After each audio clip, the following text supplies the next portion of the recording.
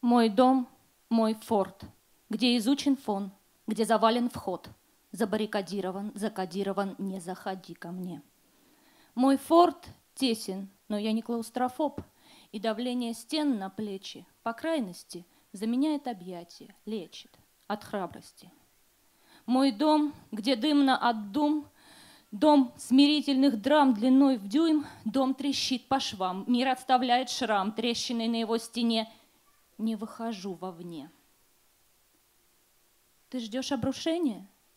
Ты не готов принять решение, как воскрешение, променять свой мирок на мир, что широк иногда до ужаса.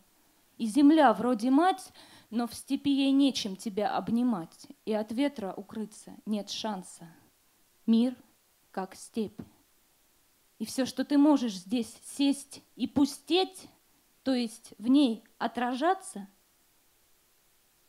я упиваюсь полураспадом. Я сам себя разломил по-риски, чтоб всегда оставался кто-то близкий, чтоб который я и который рядом. И я знаю, что вру не к добру, от лукавого, нездорово. И я знаю, что нет и не было здесь второго.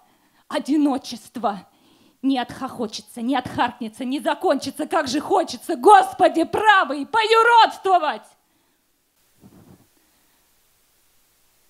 А попробуй, брось взгляд в себя, чтоб насквозь, чтоб лицом к лицу свою суть и совесть.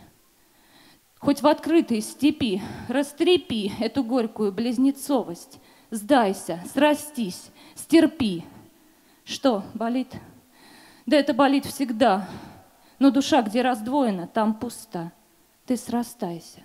Кого-то должно не стать, чтобы жизнь с тобою могла случиться. Я прошу – выходи из тьмы.